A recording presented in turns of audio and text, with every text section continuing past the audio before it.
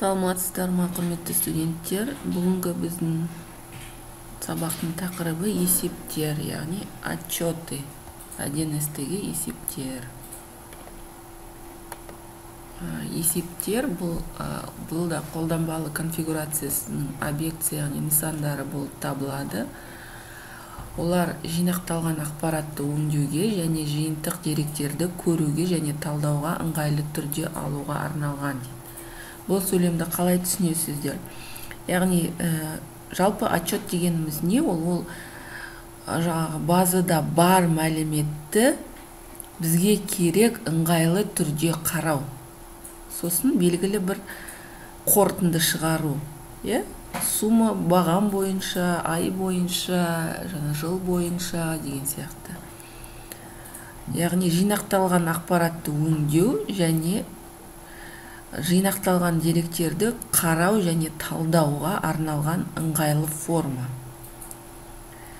Конфигуратор жүйенің пайдаланушыларының сенімді және егжей тегжейлі ақпарат алу қажеттілігін қанағаттандыру үшін жеткілікті әртүрлі есептер жиынтығын құруға мүмкіндік береді дейді. Яғни 1с конфигуратор ортасы жаңағы нені? Бізге қандай түрде керек есеп сол қажеттілікті қанағаттандыруға барынша қанағаттандыруға мүмкіндік беретін нелерді қамтиды. Әдетте есепті шығару үшін деректерді орналастыру жүйесі қолданылады. Бірақ жалпы айтқанда есепте қағаз немесе электронды есепті кіріктірілген тілде қалыптастырудың ерікті алгоритмі болуы мүмкін дейді. Келесі есепті бір немесе бірнеше нысандар болуы мүмкін. Олардың көмегімен қажет болған жағдайда алгоритмнің жүруіне әсер ететін кез келген параметрлерді енгізуді ұйымдастыруға болады. Бұл да түсінікті сияқты иә бұл жерде барлығын анықты түрде айтылған. Не түрінде қарайтын болсақ есеп мындай түрде болады. Осы жерде біз сформировать э, батырмасын басқан кезде отчет формируется деп мына жерде қажетті отчет формировать етіледі. Жалпы 1с бағдарламалық өнімінде есептерді тағайындау бұл құжатталған мәліметтер базасынан белгілі бір форматтағы іскери операциялар туралы нақты ақпаратты шығару дейді. Яғни ақпаратты белгілі бір форматта шығару. Одиннадцатегі құжаттар мен есептер бір бірімен байланысты және ұқсас болады. Бірақ құжат функциясы дерекқорға экономикалық операциялар туралы деректерді енгізу болып табылады. Ал есептің міндеті деректерді белгілі бір форматта шығару.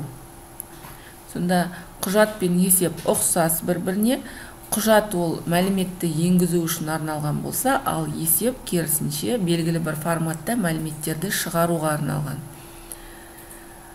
Жалпы деректерді жинақтау жүйесі ол есептерді жаңаша мүмкін, жасақтауға мүмкіндік береді. 1с ортасында скд 8-де 2 нұсқасы тінтуірмен бағдарламалау принципін қолдана отырып есептер жасауға мүмкіндік береді дейді.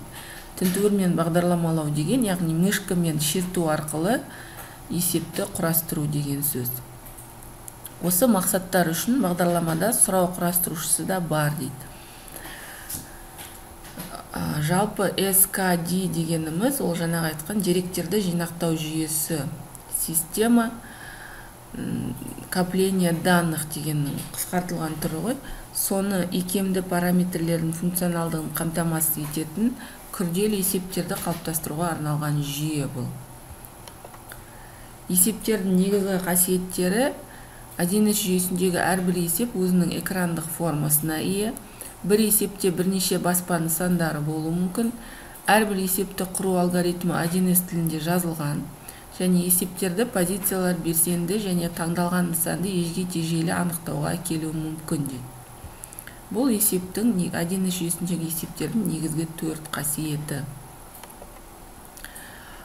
Так енді есеп түрінде жоғары жақта реттеу деген батырма болады. Соны басқан кезде екі нұсқа пайда болады. Стандартты және кеңейтілген деген. Стандартты нұсқада көрініс модульдері жолдар мен динамиктерді топтау ережелері таңдау нұсқалары болады. Ал кеңейтілген формада ұсынудың жалпы параметрлерін топтау форматын таңдау әдістері мен нұсқаларын көрсетуді қамтиды. Қосымша өрістерді енгізуге дизайнға тапсырыс беруге және көрсетілген ережелерге сәйкес сұрыптауға мүмкіндік береді дейді. Осы екі нұсқаның қысқаша сипаттамалары осындай жалпы 1С жүйесіндегі есептердің яғни отчеттардың стандартты формасында нысанында не болады? Кіріс параметрлері ол келесі топтарға топтастырылады. Ол ұсыну көрсеткіштері жолдарды топтау іріктеу бағандарды топтастыру. Егер есепті дұрыс орнатпасақ онда қорытынды форманы немесе көптеген қажет емес ақпарат шығып кететіндей нәтиже шығуы мүмкін. Жалпы есептерді қалыптастыру үшін деректерді қалай іріктеу керек деген сұрақ туындайды бұл жерде. Сол кезде мына пункттерді еске ескеру керек. Яғни көріністе тек пайдаланушы қорытынды нысанда көргісі келетін деректерді таңдау керек. Қажетті көрсеткіштер құсбелгімен яғни птичка дейміз ғой сонымен белгілену керек. Есепте қандай нәтижелер болу керек екенін анықтау керекпіз біздер. Так бүгінге осы қысқаша есептер туралы келесі сабақта тағы да жалғастыратын боламыз. Сұрақ болса форумға жазарсыздар.